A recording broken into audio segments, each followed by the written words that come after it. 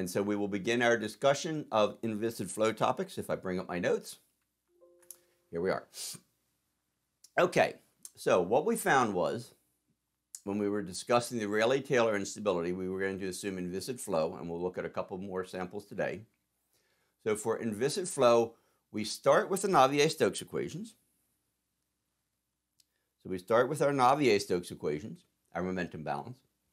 But then if we can ignore the viscous terms, if these guys go away, we just delete that term and we get the inviscid equations, which are called the Euler equations.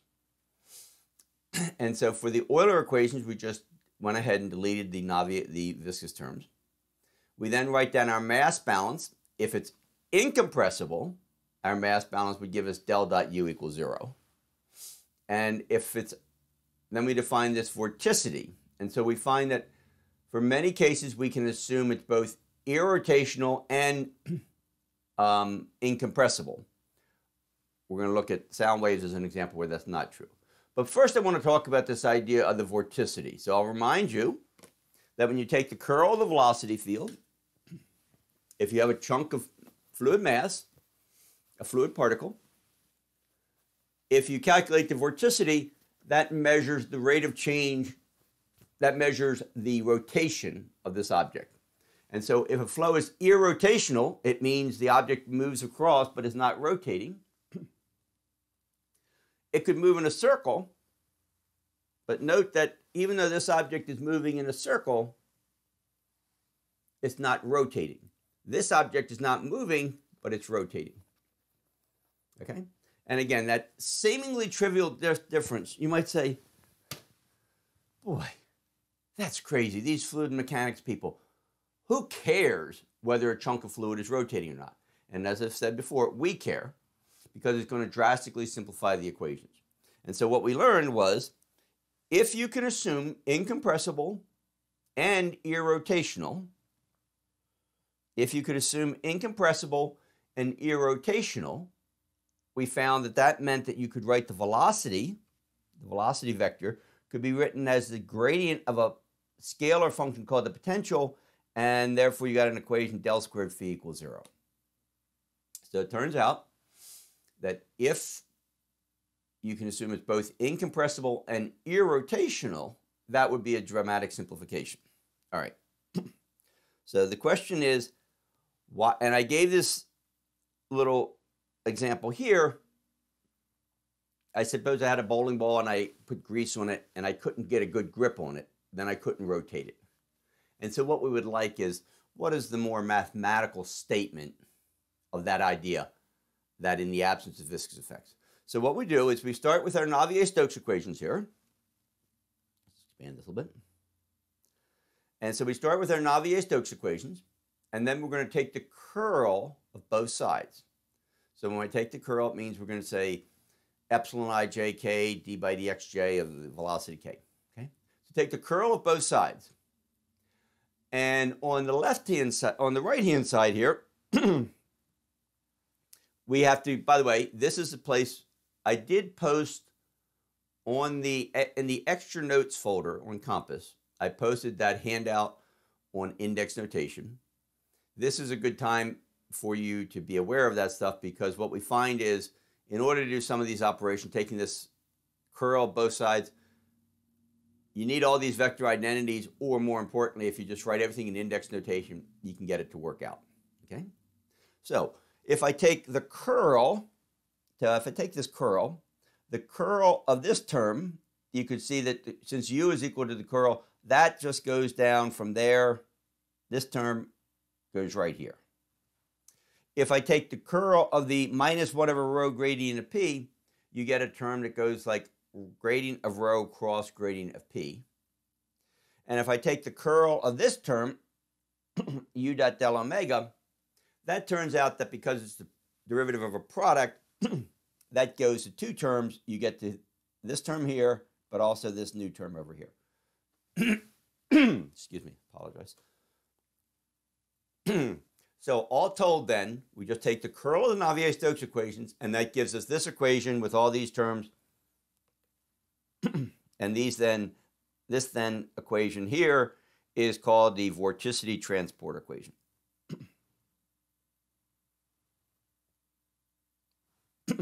and if we interpret what this vorticity transport equation is telling us, on the left-hand side, you see this is just our familiar d by dt plus u dot del is just our material derivative. so it says if I have a chunk of fluid if I have a small chunk of fluid, and I follow that chunk of fluid as it moves through the flow, the rate of change of angular velocity, the vorticity, remember, is the angular velocity of the chunk of fluid. The rate of change of angular velocity as you follow this particle through the fluid is equal to three different terms. And then we said if the vorticity is initially equal zero, so if I have a bunch of fluid just sitting there at rest, if the vorticity is initially zero, this term would go away. if the fluid is of constant density, the pressure gradient, sorry, the density gradient would go to zero. and therefore, the only way I could initially, I could get bound, I could get vorticity in the fluid, fluid is by viscous diffusion. and so this is why, for example, in the Rayleigh-Taylor situation, we said we have big mass of fluid of constant density, constant density, the omega dt is equal to zero, and that's something called the Kelvin theorem. It says, in the absence of viscous effects, see what it says down here. In the absence of viscous effects, a fluid which is initially irrotational remains irrotational. so the only way that you can get vorticity into the fluid is if you've got some to start with. Okay.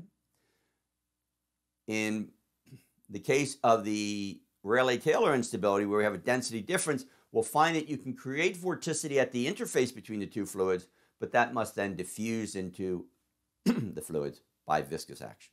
Right. So, what about these terms, though? Are there cases where we have to worry about this thing called vortex stretching or density gradients or viscous diffusion? Vortex stretching is an interesting one.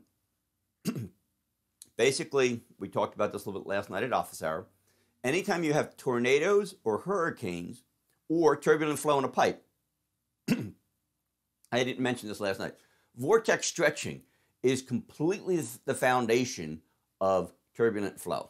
Why do we get turbulent flow in pipe? How does how does the turbulence how is that self-sustaining?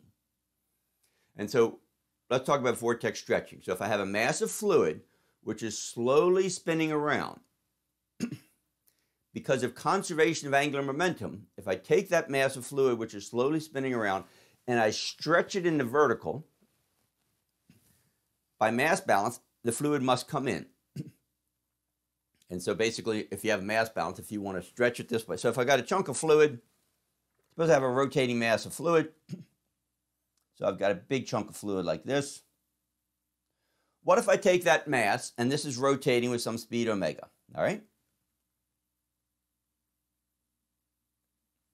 If I take that chunk of fluid and stretch it in the vertical while maintaining the same volume, it stretches out to look more like that, okay? And so what we find is, in those cases,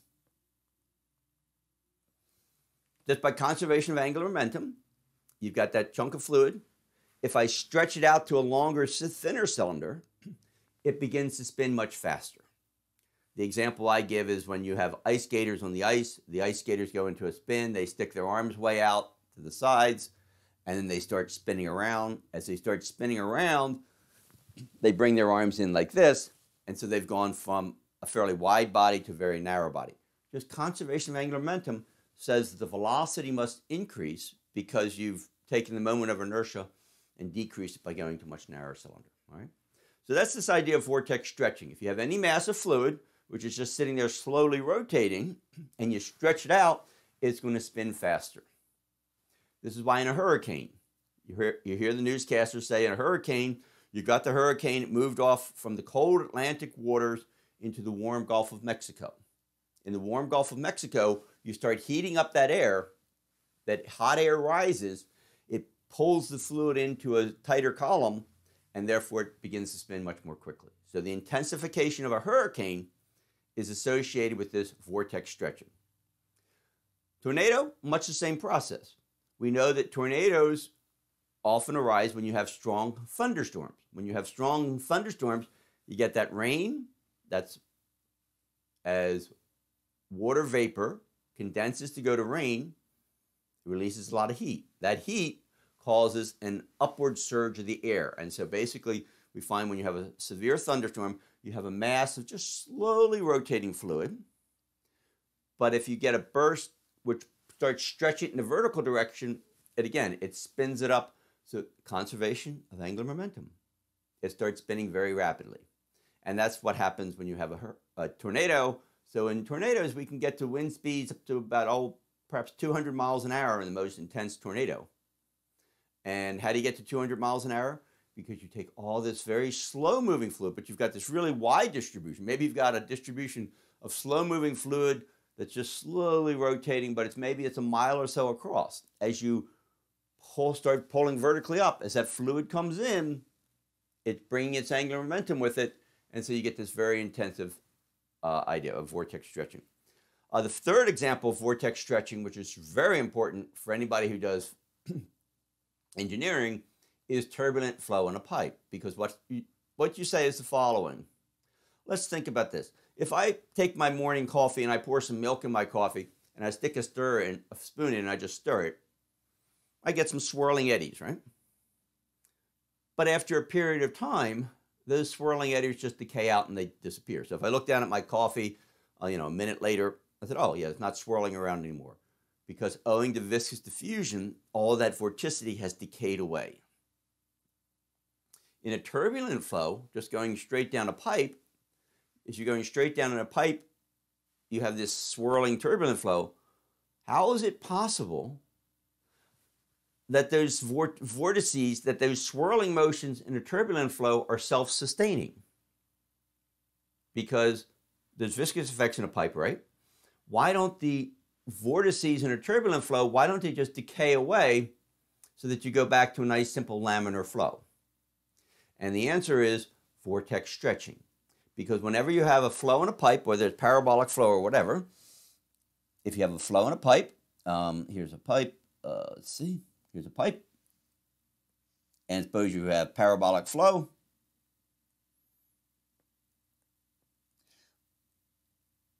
we can find that the fluid in the center of the pipe is moving. There's a shear, there's a shear zone here. And so if I've got a little chunk of um, rotating fluid down here, if I've got a little turbulent eddy down here near the, in a shear zone, that little chunk of fluid, you have a shear zone. So the top is moving faster. And so that little chunk in this shear zone is going to get stretched out into a thin sort of slice like that. They happen with that the flow is moving faster in the center of the pipe because it's moving faster in the center and slower at the sides. So you take two points. It's going to move faster in the center, slower at the side. It's going to stretch out. And so if you take a little chunk of vorticity, a little chunk of fluid down here, that little chunk of fluid is going to get stretched out. And so that's what keeps turbulence going. It's this vortex stretching you form these eddies in the flow, but any eddies that are in the region of high shear are going to get stretched out and they're going to start spinning very rapidly. And then they rotate around and move around through the flow. Okay? So it's the shear near the walls, which is very important in turbulent flow. And so that's why if you have a turbulent velocity profile, we know that in a turbulent velocity profile, you have an almost flat over most of the pipe but a very sharp shear layer at the sides. And so in that very sh sharp shear layer, that's where all of the turbulent energy is being created. You've got these vortices, they're basically leveraging off the mean flow. So the vortices are being stretched out, that's adding energy to the turbulence, and all of that energy is being created right near the wall.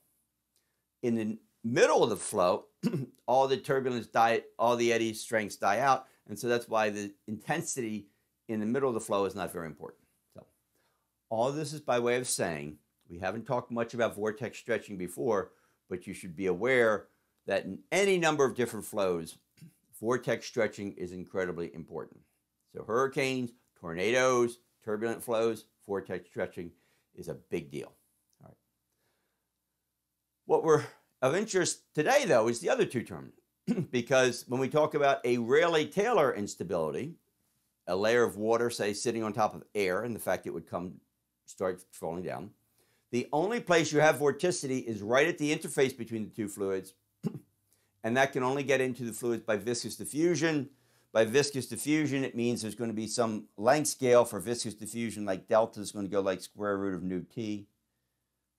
and so viscous effects in Rayleigh-Taylor will be quite small.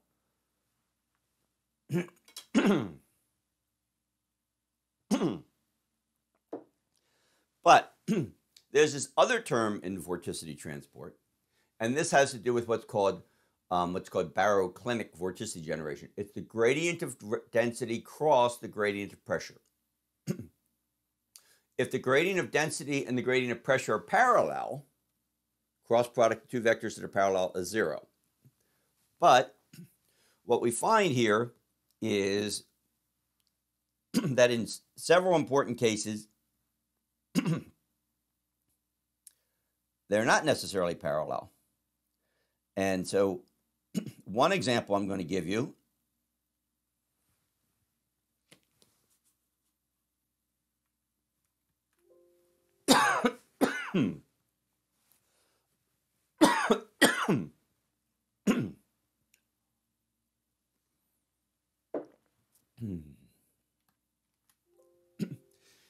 so one example I'm going to give you is in atmospheric flows.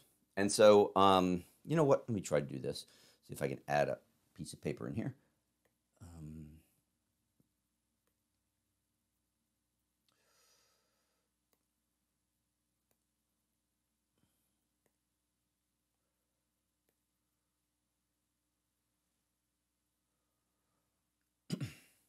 okay. so suppose I have the following. suppose I have a pressure gradient in the x direction. I do apologize for my voice this morning. So if I have a pressure gradient, I think it's the snow coming tomorrow. so if I look at a chunk of fluid and I do F equals ma, okay?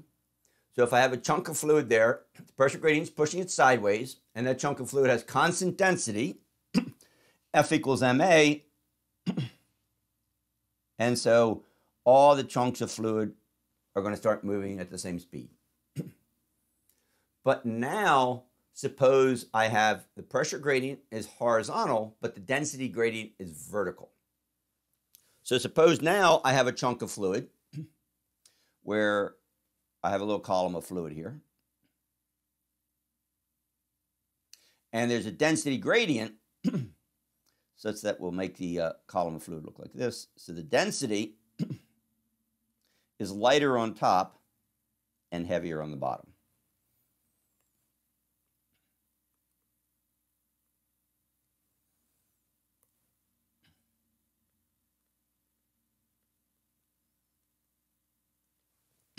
okay? so now, let's see what happens. Suppose I have, I get up and I have two things sitting in front of me. One, I have uh, uh, Suppose I have a basketball and I apply a certain force to a basketball, starts to move nicely. Suppose I have a bowling ball and I apply the same force to a bowling ball and a basket, to a basketball and a bowling ball. Which is going to move faster? The basketball is going to move faster. F equals ma. So if you have lower mass, more acceleration. So now, when I apply this pressure I'm going to get the top has a low density, it's going to move fast, the bottom's going to move fairly slowly. Is everybody happy with that? Oops. This one should be that long, okay? So because I have this density gradient,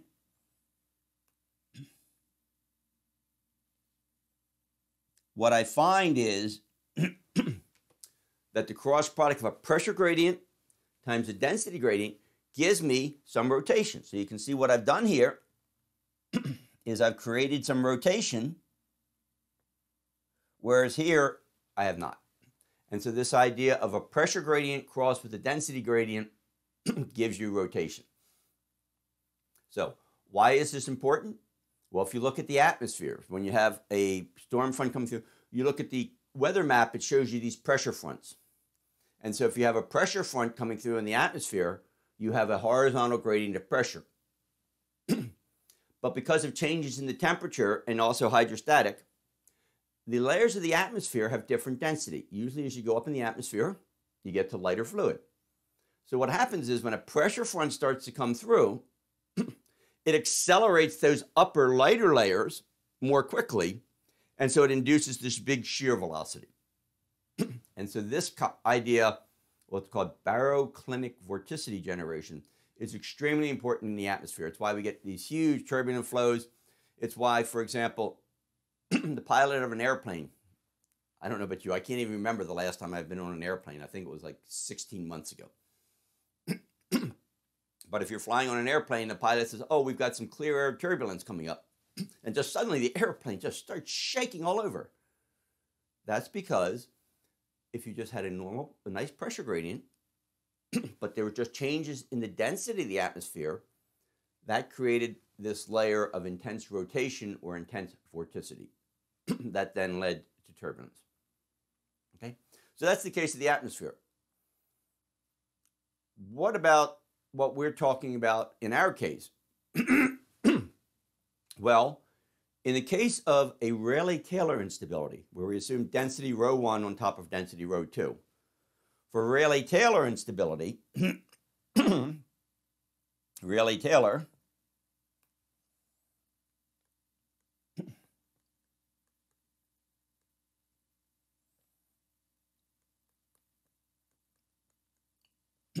that was just fluid rho 1 over rho 2.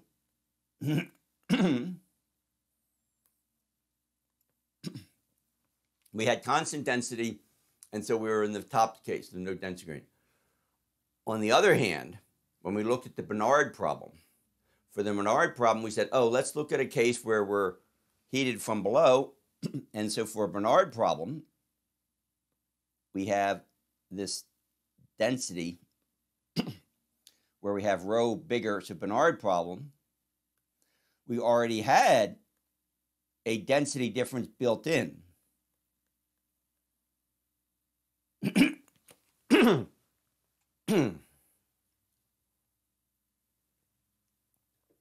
so for a Bénard problem, because we have a density gradient built in,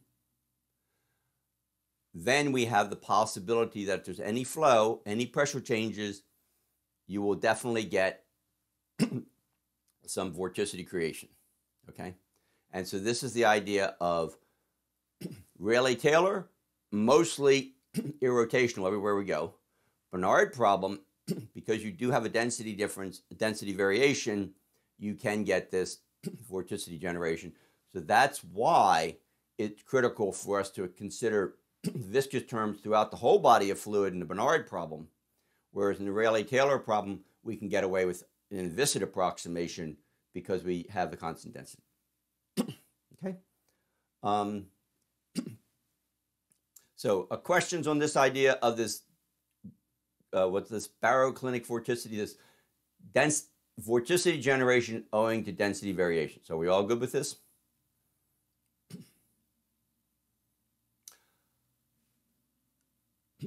okay, so um, so this vorticity transport equation, we normally do cover in the graduate fluid mechanics course. I tried to slough over it, but I recognized um, with the number of questions that were coming up in two different office hours that it is really important just to take a few minutes like this to go over this. All right. So the next thing we need after we talk about the vorticity transport is so so again we had the idea of the, oops, let me scrunch back down. So we had the idea of potential flow then. And the next thing I said is, oh, what about the Bernoulli equation?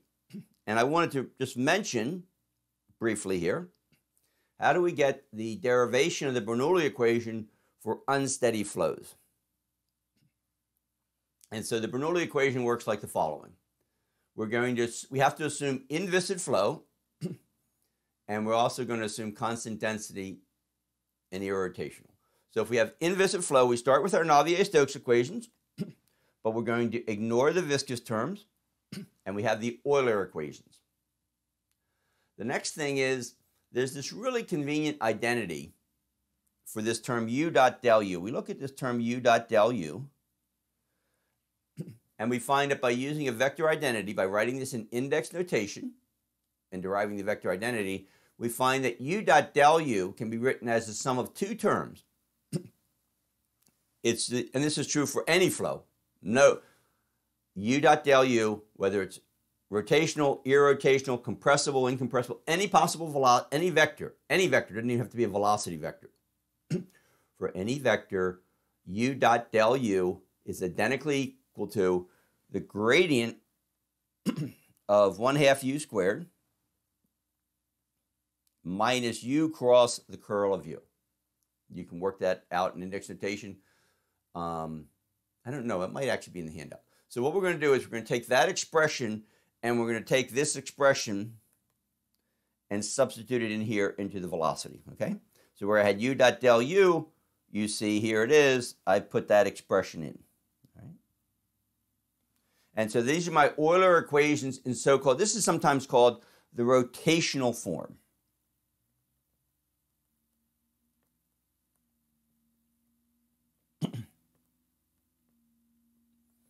So if I talk about the rotational form of the Navier-Stokes equations or the rotational form of the Euler equations, what it means is I've taken this vector identity and I've taken that u dot del u term and replaced it with these terms. No approximation. This is exact mathematics. The reason we call it the rotational form is because it includes the curl u, which is the rotation of the fluid. Okay? All right. So that's our starting point. Inviscid means I got to throw out the, navi- the viscous terms. If I now say assume the flow is irrotational, why should I assume it's irrotational? Because of what we just discussed with the vorticity transport. So if it's irrotational, curl u is zero, and so I get to throw away this term. So let's, here's our two terms from the identity. But if it's irrotational, the curl velocity is equal to zero, so I get to throw away that term. Okay. Next, I'm going to assume it's constant density. So if I can assume it's constant density, when I have this term here, 1 over rho grad p, if it's constant density, I can take the rho inside the gradient operator, and so that term becomes this guy right here. Okay? Next thing I'm going to say is, all right, let's see what I got so far. Here's my Euler equation. I've got the gradient of the magnitude. So there's the gradient of the magnitude of velocity. I've got a gradient of pressure over rho. But I've got a du dt. Now remember, the velocity can be written as the gradient of phi, right? That's the whole point. If it's irrotational, u can be written as gradient of phi. So I just take that gradient of phi and stick it in for the velocity. And so I've got almost all of my terms now are written as the gradient. The only thing left over is this little vector g, the gravitational vector.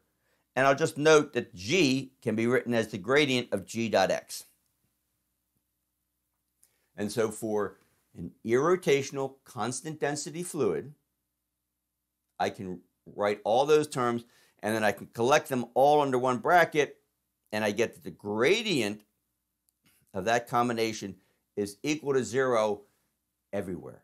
If I can say inviscid, so ignore viscosity, inviscid, irrotational, constant density, for those three assumptions, I can then put all of those terms together and I get the gradient of that expression in parentheses is equal to zero, and therefore that expression is equal to a constant.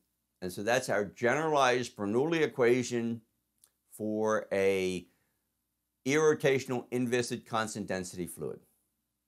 Now, the interesting thing here is in undergraduate courses, you often see the Bernoulli equation derived as a form of the energy balance. You said, oh, you take an energy balance and you ignore viscous losses and you get a Bernoulli equation. But in fact, there's actually a much more direct way. Does anybody, we didn't mention the energy equation here at all. This just comes from the momentum balance. So the momentum balance in an inviscid flow guarantees us this Bernoulli equation. Um, I wanted to do this little derivation here just to show you that where does this d phi dt come from? Because you cannot derive this form of the Bernoulli equation. This form of the Bernoulli equation cannot be defined if you have from an energy balance. You must look at the momentum balance and get it from the Euler equations in order to get the proper term for d phi dt. Okay? So this is the form of our Bernoulli equation. And so when we went down to our Rayleigh-Taylor, why is this so important? I'll remind you, for when we did our Rayleigh-Taylor instability, we talked about the Rayleigh-Taylor instability. We found that our dynamic boundary condition was this idea that the pressure, P1 must equal P2, on the interface. But in order to go any further, I had to substitute in my Bernoulli equations. Okay? And so in each fluid, I've got constant density rho 1 up at the top. I've got constant density rho 2 down here at the bottom. In each fluid, I can write a separate Bernoulli equation for each fluid. okay? And so that was critical for our ability to analyze the Rayleigh-Taylor instability. How are we doing on time? Pretty good. All right. Um, let me then say, all right, just to go over, we did our Rayleigh-Taylor analysis, and we substituted in our normal modes. We calculated all this. We we did this. Um, problem number one on problem set number five. I'll remind you, problem set number five. I emailed out last night. Will be due a week from Thursday, and we'll talk about it next Monday in the office hour if you like. And we did this for a the first thing we did was we did this case of the Rayleigh-Taylor instability, supposing we had an infinite layer of fluid. So it goes up to positive, in the y direction, goes up to plus infinity, in the x y direction minus infinity. But also we said, let's suppose it's infinitely broad. So we said, what are our eigenfunctions? In this case, we have no eigenfunctions. Instead, we have Fourier transforms. And so when we introduced our normal modes, For our normal modes, we just put e to the ikx because we're saying it was infinitely wide in the x direction. Okay? And also, we used our boundary condition. We solved for our solution for x and y, and we found that it would be, oh, it's going to be e to the ky or e to the minus ky. we applied our boundary conditions, so the velocity went to zero at plus infinity and minus infinity, and that gave us our solution for phi 1 and phi 2. On the homework, I'm asking you to look at a infinitely wide case, but on the homework I'm saying suppose we have the following.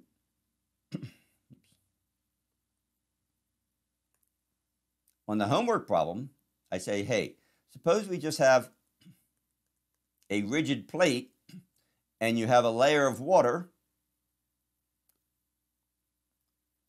And so we'll let this be y equals 0, and we'll let this be y equals h.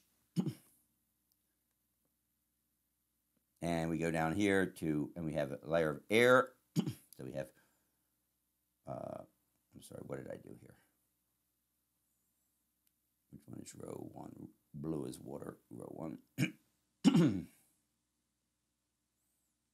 and so I have rho 2 down here is my air. And I have rho 1 here is my water. Take that to be water. And then I go down to y is minus infinity here. Okay.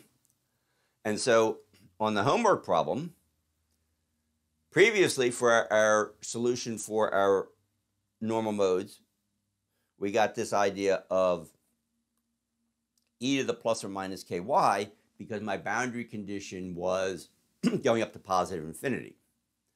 Well, now we're still going to get down here in the green for phi 2. phi 2, we're still going to get the same thing. We'll get a c2 e to the ky e to the sigma t e to the ikx. but for phi 1, we have, by the way, all the boundary conditions at the interface, the same boundary condition interface, but for phi 1, you're going to be looking at phi 1 is probably going to equal e to the ikx. And we've done enough separation of variables. You know that you could write it as e to the ky plus e to the minus y, but it's probably the case that you're probably going to want a sinh kx, ky, or a cosh ky, and I'll leave it to you to work out the details. Okay, so the difference is we worked out the basic theory for Rayleigh-Taylor instability for an infinite height of fluid over an infinite height of fluid. Now, if I said I had a vertical, if I have a horizontal plate, if I have a rigid horizontal layer, and I say, suppose I've got a thin layer of water sitting on the bottom here, and I want to know what should, you know, suppose I have like a millimeter thick layer of water. I want to know how, what is going to be the frequent, how far apart do I expect droplets to form? So that layers of water might form droplets. And I'd like to know, okay, what would be the wavelength that's most unstable so it would tell me how fast, how far apart do I expect the droplets to form. That's a classic problem of the Rayleigh-Taylor instability, but for a finite layer of liquid dripping from a rigid surface. and so this is the way that I'll just let you work out the details. The short answer is it's pretty easy, except you have to differentiate a or cosh instead of just an exponential. Okay? All right. So that's the case of what happens if we have a finite height in the vertical direction. The other case, which I want to talk about briefly, and we're about five minutes from a break, we also talked about the idea of surface tension and how that modified the growth rate. And we solved for sigma squared like that. And, um, oh, so before I get to the case of side boundaries, I want to address a question that did a very important question came up in office hour. So I said if sigma squared is greater than zero, so if sigma squared, sigma squared is greater than zero, sigma is real, and it'll have a plus term and a minus term, and so I say that's unstable. And so if sigma squared is greater than zero, we call that our stability criterion. Did I have a, I don't have it here. Um, so you take square root of a positive number, you get a real number. And so it's one mode grows exponentially, the other decays. If sigma squared is less than zero, I claimed it was stable. But that means that sigma, say, is equal to say plus or minus, I'll call it I omega. And so you might say, well, wait a minute, John, that doesn't decay. What does it mean if sigma squared is less than zero? How could sigma squared be less than zero? Well, if I have either, if I have very short waves, then the K term will dominate, or if I put the heavy fluid on the bottom, so either one of those cases, I will get sigma squared negative. But if sigma squared is negative, sigma is going to be an imaginary number, but it's not going to decay. but what does that mean? That means simply when I go back and look at my normal modes up here,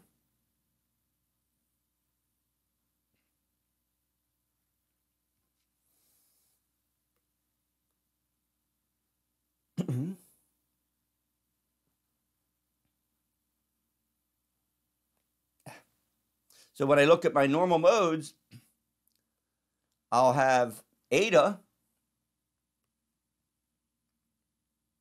is equal to eta naught times e to the ikx e to the i omega t. How about if I make it e to the minus i omega t if you like?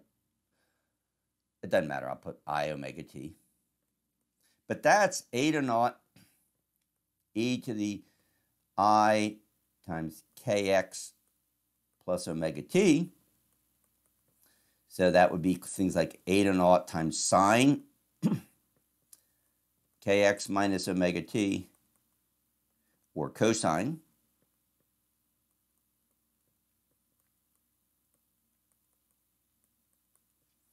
And that is just the equation for waves. And so basically, this Rayleigh-Taylor instability gave us something else for free.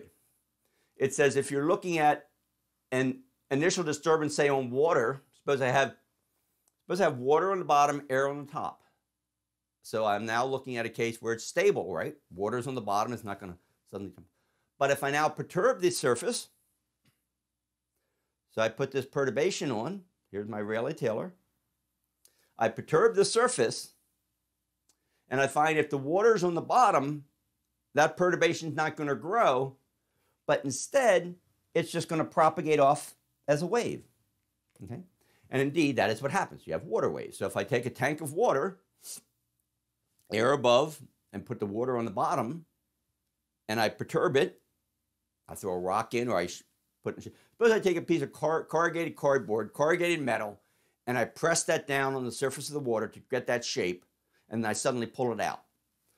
I've got that wave motion, I've got that wave shape, and all of a sudden I see it just prop, starts propagating off. In fact, it can propagate in either direction, go plus or minus.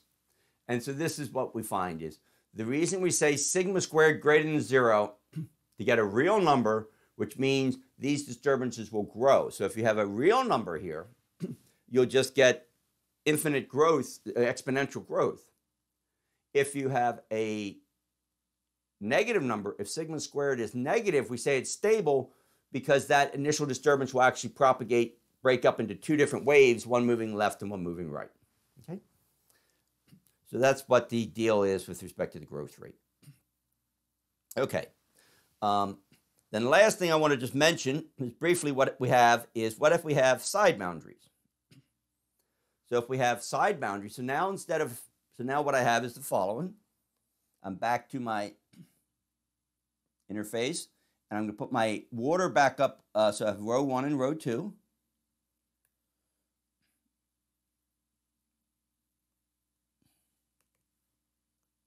So let's put our water on the top, rho two, and our air on the bottom, rho one. but now, I'm not, again, I, I look at the linear PDEs, I say, oh, let's solve by separation of variables. Now I don't have infinite in the x direction. I have a finite distance, goes from 0 to L. So instead of having Fourier transforms, just e to the ikx, I substitute, I do my separation of variables, and I will find eigenfunctions. And so the question is, what would be the eigenfunction in the x direction if you've got no penetration, velocity can't get through that wall on the left and right? And so the two boundary conditions, instead of it just being periodic, now if you have sidewalls, your boundary condition is just that the gradient is equal to zero at left and right. And sure enough, when we do that, we find that our eigenfunction is cosine kx, where k equals n pi over L for um, n is an integer. Okay? So, bottom line is this Rayleigh-Taylor instability, you can analyze it for boundaries of any arbitrary shapes for side boundaries, for side boundaries, it affects your eigenfunction. And we just get, instead of just e to ikx, we get cosine kx because that's with a specific value. So again, the main difference is if it's infinite domain, it's e to the plus or minus ikx, but k can be any value at all, hence Fourier transforms. If you have side boundaries, you have to get eigenfunctions. It's now cosine kx but instead of k being any possible value, now you just have k must be equal to these values n pi over L. And so there's only a certain number of modes that you can introduce. Okay? And so that's the idea. So if you want to know if you have two rigid side boundaries, what's the minimum wavelength? Well, it would just be the smallest eigenfunction for cosine would be um, cosine of pi L would just be this.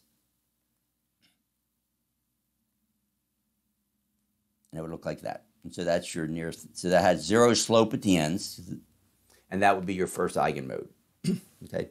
So you can go ahead and calculate that. And this would tell us, then we can now look at this and say, okay, what is the mode which is most unstable? It's the single thing. And so what you can say is, ah, if I take two pieces of glass plate, if I put two glass plates maybe only a millimeter apart, if I put them only a millimeter apart, and it's an air water system, that layer of water sits there and you, it doesn't fall. But if I instead I put plates that say are a centimeter or so apart, then I find that the layer of water would fall. All right. But absolutely, two plates which are held very close together, that droplet of that layer of water will just sit in there because of the fact of surface tension. But as you move that further apart, you get to lower values of K, longer waves, and sure enough, you get to the point where sigma squared gets positive and it falls. All right. You can also do this example for instead of having two rigid side walls, you could have this problem of how about if you had a cylinder, like a capillary tube, and so if you have a cylinder, in this case, your eigenfunctions are not unfortunately just cosine of x, but for a cylinder, you would get a Bessel function, J naught, and that would be your eigenfunction. But you can go ahead and plug that in and say, oh, if I have a capillary tube, again, if you take a test tube, like, you know, about a one centimeter diameter test tube, you'd find the water would just drain out. But if you went down to a smaller capillary tube of the order of a couple millimeters or so, you'd find that that water just sits in there and you can't get it out. Okay?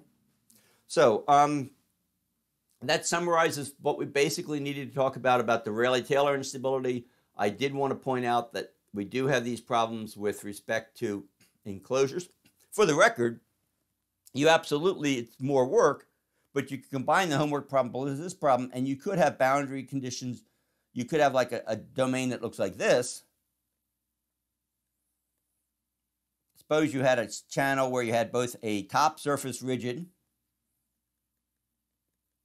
and side walls.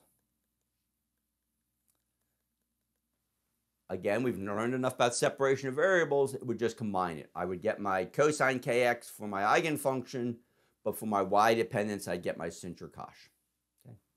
And so these are all the ways that you can generalize the analysis of the Rayleigh-Taylor instability to other different geometries. Okay, uh, time for a break. That's all I want to talk about about Rayleigh-Taylor today. Um, and um, so what we're going to do then is we're going to take a break. And then after the break, I want to come back and talk a little bit about sound waves because we've learned enough now about the inviscid flow, about irrotational flow. We've learned enough about the Euler equations that we can, and we've learned enough about perturbation methods that we can take these simple equations and we it's actually quite simple to derive the equations to say, all right, suppose I clap my hands. When I clap my hands, I don't know about you guys, but I heard a sound here, but I didn't clap it too close to the microphone. When I clap my hands, I'm compressing that fluid and that propagates, that creates a disturbance in the fluid, which propagates as a pressure wave up to my ear where I can hear it. Okay? We're going to see how the equations of fluid mechanics give us that prediction, and this will be our one example where we look at the idea of compressible flow plus thermodynamics plus heat transfer, and we'll go through the derivation. Good news is it's just linearized PDEs, same as before. We get to ignore nonlinear terms we'll walk through this after uh, a break. So I've got it some 10:25. Let's take a five minute break. We'll start back up at 10:30, and we can easily this is basically this one slide. We can easily finish up in the next 20 minutes. So, okay. So with that, um, thank you. I'll see you in five.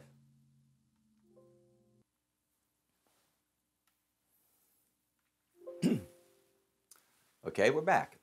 Um, by the way, just before I get to the sound waves business, I want to go back to the one thing I forgot to mention about the Navier-Stokes equations and why am I focusing, why am I obsessing so much about the vorticity? People say, well, shouldn't you be worried about where are the viscous effects important? And the reason we focus on the vorticity is very simple. if we have an irrotational flow, we can write a velocity as the velocity potential. But del squared phi equals zero. And so therefore, if you take del squared of u is equal to del squared of the gradient of phi is equal to the gradient of del squared phi, and that's identically equal to zero. And so if you go back to your Navier-Stokes equations, where you have a mu dot del u term, if the velocity is irrotational, then viscosity can be whatever whatever you like, and you would still get this idea of del squared u is equal to zero. Um, so you can have an example of Stokes flow. You can have zero Reynolds number. Viscosity is immense. But if you have an irrotational flow, the viscous forces are identically equal to zero. What's an example of that? Suppose I take a big tank of corn oil or glycerin, and if I insert a capillary tube and I start inflating a little balloon, that's what we call a point source velocity. So as you inflate that little balloon, it's pushing the fluid out radially in all directions. The velocity in that case is just u equals some volume flow q divided by 4 pi r squared times er. And so that's an example of, or u is equal to the gradient of phi of 1 over r. And so what we have that, that's an example of an irrotational flow. Even though the Reynolds number is zero, the viscous forces are identically equal to zero, okay? So the reason we focus so much on this vorticity trans this vorticity or the vorticity transport is if the vorticity is equal to zero, the viscous effects are equal to zero. And so we got no viscous effects to worry about. The mu del squared u term goes to zero. Okay? All right, so that's that. All right, so let's get back then to talking about the sound waves. I got 15 minutes or so to talk about sound waves.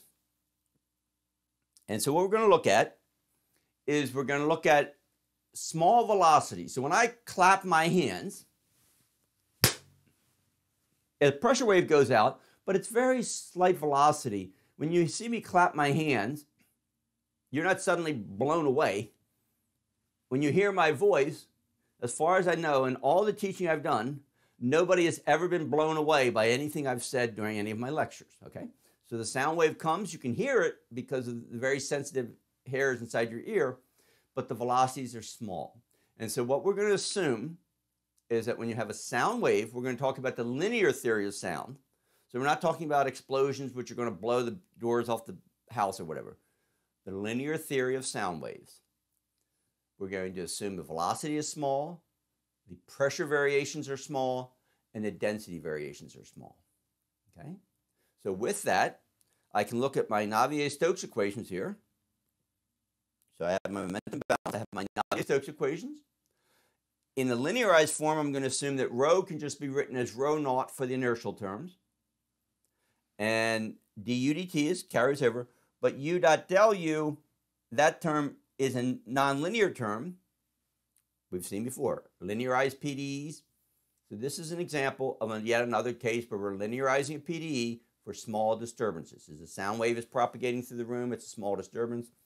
And so I just get right here, I get my um, linearized Navier-Stokes equations. Uh, by the way, I've neglected, again, I'm neglecting the viscous terms. Why? Because if I have a sound, if I'm sitting in a room with no air moving, and suddenly I either clap my hands or I'm speaking, there is a density variation going through the fluid, but it's going fairly quickly and viscous effects. So the fluid is irrotational, right? I'm standing in a room, air's not moving, So u is 0, omega is 0. So it's initially irrotational. Therefore, it would take a while for viscous effects to become important. You can do the effects of viscous later. It's only a correction. And over a time scale that it takes for the sound wave to pass through the room, viscous effects are negligible. So I get to throw away viscous effects, much like I do for the Rayleigh-Taylor instability. And we have a linearized Navier-Stokes equation. Is just equation one. Next, we move to our mass balance. Here we have to be a little careful. For the mass balance, it's the first time where we're considering a compressible flow. So we no longer have div u equals zero. For a compressible flow, as that sound wave propagates through, chunks of air are compressing and expanding, compressing and expanding. And if any of you have ever played with a slinky, the classic demonstration is you take, you know what a slinky is. I hope everybody knows what a slinky is. A slinky is this long, sort of spiral, helical sort of thing made of wire or plastic these days. And if you just pop the end of the slinky, you can see that compression wave. You can see that go through the whole body of the slinky. And it's ex an expansion compression. Okay? That's what a sound wave is doing. So here's my full mass balance, d rho dt plus u dot del rho plus rho div u equals zero. That's the full statement of my mass balance. All right? But I'm assuming both velocity and density variations are small. And so this u dot del rho term, oops, that's going to go away. So that's gradient of rho is density fluctuation, that's going to go away. What about rho div u? Well, rho I can approximate as rho naught, and so I'll get that this equation becomes my linearized mass balance becomes rho naught div u is equal to minus d rho dt. Okay. Again, just like we've done before. For each variable we're introducing, we're saying let velocity equal, say, u bar plus u prime. Density equals rho, rho naught plus rho prime. Pressure equals p naught plus p prime. Okay? So we have our mass balance is equation number two, our momentum balance is equation number one. And now, whenever you introduce a compressible flow, you have to go and say, all right, what is the state equation? You have to say, what kind of fluid am I going to consider? Am I going to consider it as an ideal gas? Am I going to consider it as a, you know, a, a van der Waals gas? What sort of, what is my state equation? How is pressure related to volume and temperature? And so we're going to say for our state equation, we're going to assume a linear state equation. We'll say rho equals rho naught plus P minus P naught times d rho dP. So we're going to assume that density is a linear function of pressure change. Okay. So then it turns out those are the, all the equations we need. So first what we're going to do is we're going to take d by dt of the state equation. So we're going to take this state equation and we're just going to take d by dt of both sides. And that gives me an equation for d rho dt. And so I see that, oh, that's interesting because of the linear functionality here. I'm assuming that partial rho with respect to p is evaluated some naught at these rest conditions, and so that's just a constant. So d rho dp naught, that is a constant which I've evaluated. Okay?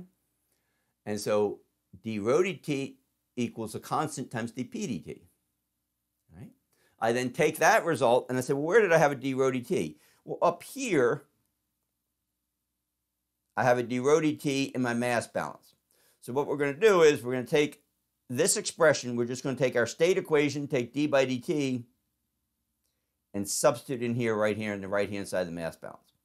And I get this equation, then, so equation 4, this new equation 4, is just a combination of my mass balance plus my state equation. And then finally, I want to try to um, eliminate the velocity completely. So now I want to say, all right, I've still got a div u here. I've got a velocity up here. I want to eliminate the velocity and just find an equation, say, for the pressure or density. Let's suppose I want an equation for the pressure. So if I say, all right, equation one, hmm, I've got a d by dt in equation 1, but I don't have a divergence. Equation 4, I've got a div u, but I don't have a d by dt. So what we're going to do is we're going to take d by dt of this equation, and we're going to take the divergence of this equation,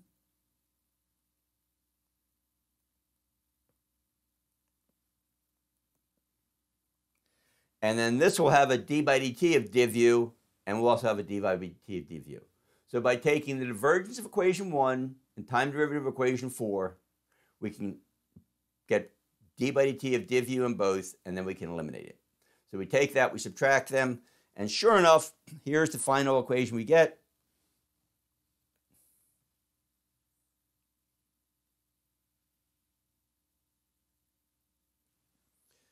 D2p dt squared equals that constant times del squared p. And anyone who's taken freshman physics recognizes that as a wave equation. And so what we've effectively done is we've derived the equation for the propagation of sound waves in a fluid, and we find that the speed of sound, c squared, so this guy, remember wave equation is of the form of, uh, a wave equation is d2p dt squared equals 1 over c squared times del squared p. And so basically, this analysis has shown us that the pressure wave, that when I clap my hands, that goes to my ear, goes to the microphone, and then goes out to you guys electronically. That's a pressure, it's a fluctuating pressure field. And I find that I've been able to predict that c squared, I've found that I've been able to predict the wave speed, which is the speed of sound. And so what we get is we get this result that the speed of sound is you take d rho dp at your initial conditions, and then you go ahead and you take the inverse of that, and that gives you c squared. Now, in the history of science, there's sometimes when people say, man, I was that close, but I screwed up. So the question is, how do you calculate d rho dp at the rest conditions? The original theory for this speed of sound, the, for this that we've just presented today, was due to Stokes, Stokes theorem, Stokes equation, Stokes law. That's that's Stokes. George Gabriel Stokes, mathematician, Cambridge. He developed this theory. Uh, I don't even remember. I'm sorry. It was like 1840, 1850 ish. But he said, okay, I've got a sound wave going through the room. It's isothermal. Let's assume it's an ideal gas and it's isothermal. Temperature's not changing, right? And he said, all right, let's evaluate c squared based on it, assuming it's isothermal. Unfortunately, if you do that, you come out with about a 20% error. Back then, they were able to measure the measuring sound speed is actually quite easy. If you um, just stand, uh, you know, stand a mile away from somebody, or stand not, you don't have to stand a mile away, and if somebody rings a bell, he holds up a bell and bang, he clangs the bell. You can hear it and you can see it. So you look at him in binoculars, and bang, you, in speed of light, you see when he struck the bell, and then you wait. And it takes a second or so. Actually, takes uh, um, a few seconds for the sound to get to your ear if he's a mile away. And so you can actually measure it with a stopwatch. Sound speed is very easy to measure. So Stokes, back around 1840 ish, 50 ish, gave us a theory, predicted it was the isothermal for an ideal gas, and he was off by 20%. It was not until Rayleigh came along about 30 or 40 years later, Lord Rayleigh, he said, hmm, no, what happens is as that sound wave goes through the fluid, the sound wave is traveling so fast that heat does not, there's no time for heat transfer. So we can do all the scaling analysis we've done. You know, we've talked about, oh, you've got this square root of nu t for viscous terms. Well, same thing for heat transfer. If I suddenly compress something, it takes a while for it to get back to isothermal. So if I suddenly compress something, it heats up, and it takes a while for it to get back to isothermal. And so what Rayleigh said is no, it's not isothermal. It's isentropic because it's happening too quick for the heat to transfer. And very simple uh, experiment you can do. It's hard to do with air. But a nice little simple experiment you can do is if just reach in your desk drawer, if you have a little rubber band. Rubber band similar to air in the sense that air, we have this compression, we have this density, we can store energy if I compress the air. Well, in a rubber band, if you take a rubber band, you know, nice big quarter inch thick rubber band, office rubber band, if I sh- suddenly stretch that, I'm adding energy and it heats up. If I release it, it cools down. And so if you look at it in the spirit of how sound goes, you can pull it and then release it. You can actually feel that rubber band heating up and cooling down. And so, uh, by the way, the, one of the most sensitive parts of your skin is either your cheek or your lip. Mm, you, your wrist is good enough too, but you need three hands. So if you have a volunteer to stretch the rubber, so basically, if you just take that rubber band, stretch it, press it up against your lip, and com- you can actually feel the temperature of that rubber band changing. You might say, well, John, no, I'm in a room at 70 degrees Fahrenheit. It's isothermal, right? Nope. If you stretch that rubber band, you'll find it warms up and cools down, warms up and cools down. Similar way when sound wave propagates through air, it warms up and cools down. You don't have enough time. It's happening so quick because the sound wave comes through and goes by. You don't have enough time for heat transfer to maintain isothermal. So if you do the math, tiny bit of thermo. So in both cases, we're going to assume ideal gas. So P equals rho RT divided by the molecular weight. And if it's isothermal, you can just calculate that C squared is equal to RT over the molecular weight. On the other hand, if it's isentropic, we can just do our sums. You do the first law, you write the first law, you substitute in the ideal gas, etc. And so if you do that, you find that for an isentropic ideal gas, you can say that PV to the gamma is equal to a constant. And gamma is the ratio of specific heat. So gamma is the ratio of Cp of Cv is 1.4.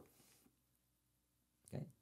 So when you go through all the analysis, you'll come out with for an isothermal, you get the exact same result for sound speed c squared, except that you have a factor of gamma in there.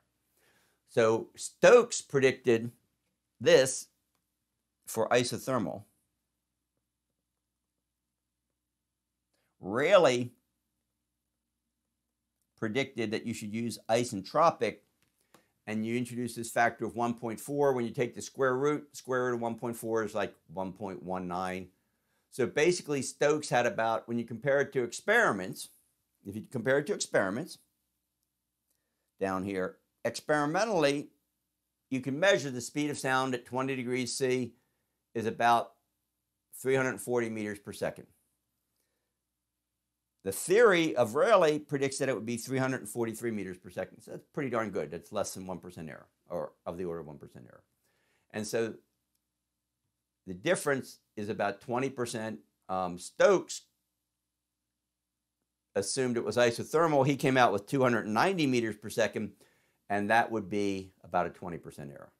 So, um, so I just wanted you to see this one example this idea of sound propagation because it combines all of what we've been doing linearized PDEs, thermodynamics, and one case where we have density variation. So, okay. Um, I have one question in the chat box, which I'll talk about vortex stretching, but we're at the end of today's time. So I will let you go and I will look forward to seeing you all on Friday. Thank you very much.